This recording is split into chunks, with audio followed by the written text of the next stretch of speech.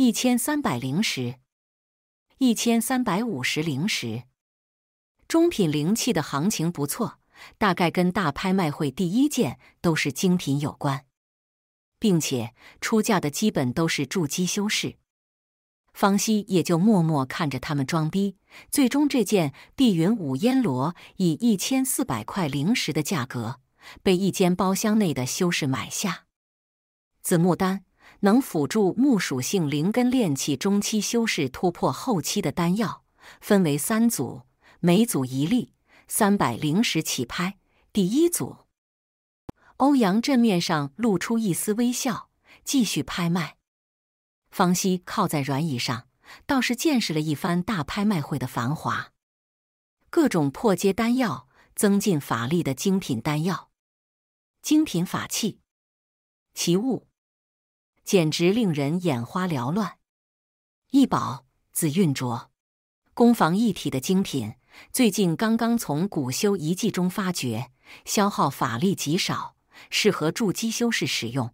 威力比上品灵器还要超出一截，起拍价两千灵石，每次加价不得少于一百灵石。半个时辰之后，欧阳震展示出一件紫色的镯子一宝，其上篆刻着大量复杂玄奥的花纹，灵光四溢，一见便知不是凡品。两千一百灵石，一个苍老的声音立即报价：两千二百灵石。在场筑基修士显然都对这件紫韵镯十分感兴趣，没多久价格便到了两千九百灵石的高位，三千五百灵石。突然，一个年轻而自信的男子声音充斥全场，直接压下其余竞拍者。众人纷纷看向那个包厢，就见窗户敞开，坐着一位身穿海蓝色法袍。头戴玉冠、剑眉星目的筑基修士，他手持玉折扇，一副游戏人间的家公子模样。对于众人注视丝毫不怯，相反却拱了拱手，满脸笑意。竟然是此人，越国宋家的少主宋清。据说此人原本执掌青竹方氏的万海楼分部。结果业绩在一干竞争者中脱颖而出，顺利夺得宋家少主大位，然后修为突飞猛进，从此一发不可收拾。三十余岁便成功筑基，被誉为越国家族修士中难得一见的天才。方希望着此人，倾听着来自四面八方的议论，眼眸略微变得深邃。没想到，当年区区一家万海楼的掌柜。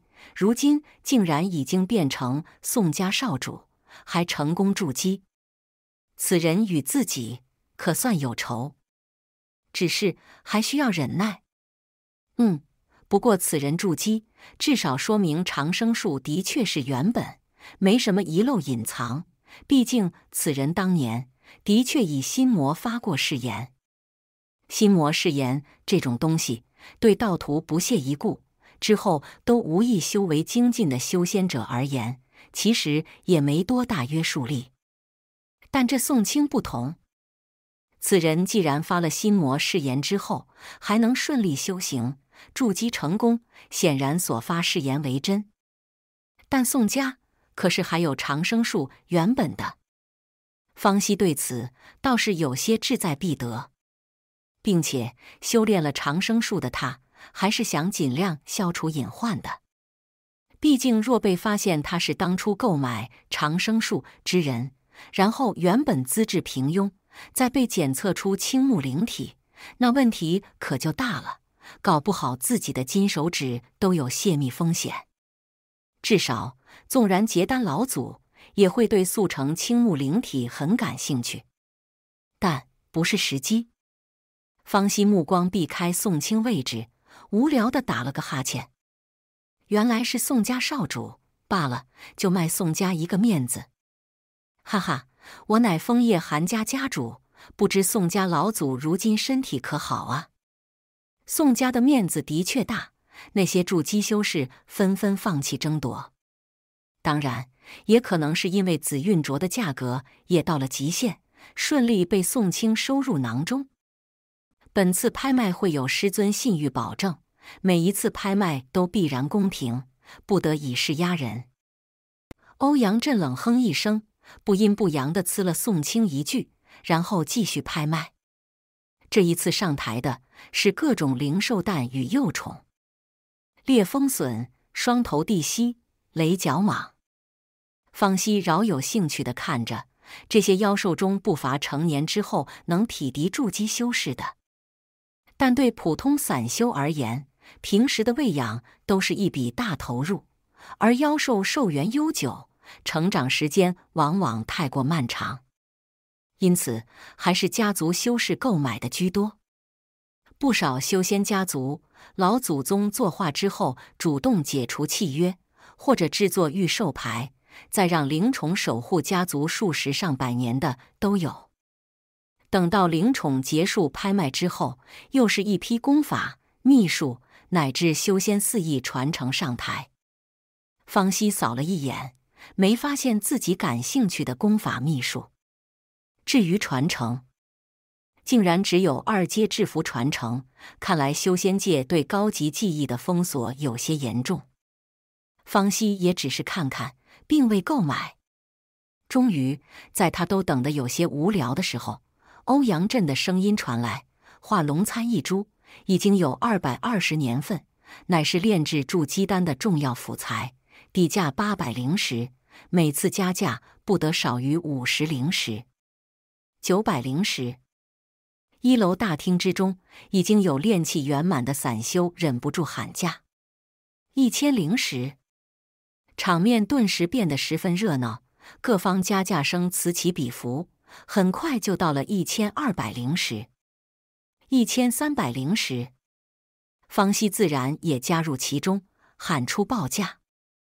这其实已经略略超出化龙餐以往的价格了。一千三百五十灵石。某个包厢中，一个青年咬牙切齿的报价。旁边一名老朽则是叹息一声：“慧侄儿，一千三百五十块灵石，已经是家族能支援你的最高价格了。”一旦还有加价，你就必须放弃。叔叔，只要有化龙餐，再加上家族中珍藏的碧灵液，我就可以凑齐筑基丹所有辅材，等待有人拿出妖丹，就可合作炼丹了呀。只要承担两颗以上，我便能筑基了。放弃了，我不甘。云哲握紧拳头，心中默默祈祷。这价格已经很高了，但下一刻。一个不疾不徐的声音再次响起：“一千四百灵石。”这声音宛若压倒天平的最后一根稻草，让青年满脸失神的瘫坐回椅子上，眸子中都有些失去光泽。呵，又一个傻子，大概是散修出身，没有门路吧？另一包厢内，宋清也笑眯眯的点评：“只要有门路。”化龙参与碧灵液加起来也不过一千五百灵石，真正难得的是二阶妖丹。家族中辅药材料早已准备好数份，奈何妖丹难寻啊！他望向万寿山方向，神情中隐隐带着一丝渴望与恐惧。虽然溢价很多，但总算抢到手了。冤大头便冤大头吧。竞拍成功的方熙松了一口气。慢悠悠地注视着场中，但下一件拍卖品却出乎方熙预料。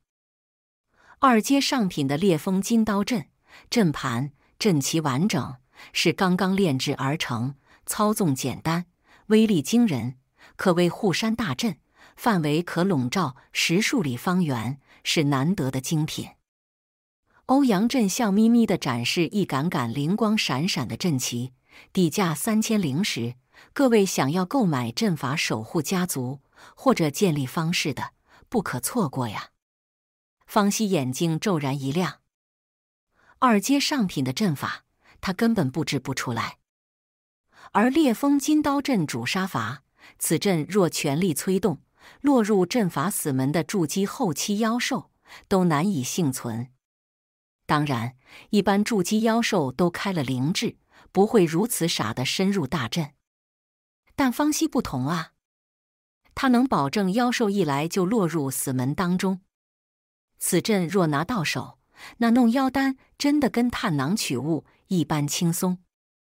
方熙眼眸微微发亮，但看到宋清的包厢位置，又变得沉默。此人的性格他领教过了，绝非善类，路财太多，很容易被盯上。先等等，再看看。方西按兵不动，而这套阵法显然陷入那些筑基势力的狂热争夺之中，价格很快变上了四千。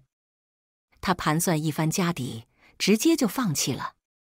自身销赃之后，最多之时有七千灵石，加上之前购买与本次的消耗，只剩下三千多块下品灵石。这不是争不争的问题，根本买不起。到最后，这套二阶上品阵法以五千灵石的高价，被一个急需护山大阵的新晋筑基家族收入囊中。又过了几件拍卖品后。欧阳震再次拿出一套阵盘阵旗，二阶中品以木神雷阵的残阵，此阵损失了数杆阵旗，阵盘受过损伤，后来经过修补，勉强恢复一定威能。方希望着那一杆杆青色的阵旗，略有些迟疑。这时，就听一个包厢内有女声传出：“此阵笼罩范围如何？生门死门可有变化？”此女所问的问题都在关键处，可能也是一位阵法师。方希耳朵竖起，便听见欧阳震略有些尴尬的回答：“此阵笼罩范围缩减为二百丈左右，敛息功能有所削弱。至于其他禁制，大体还算完好。”二百丈，女阵法师发出一声嗤笑，没有再问。一些老成的修士也纷纷叹息。一般而言，二阶阵法若威能全开，至少可以笼罩数里甚至十数里方圆。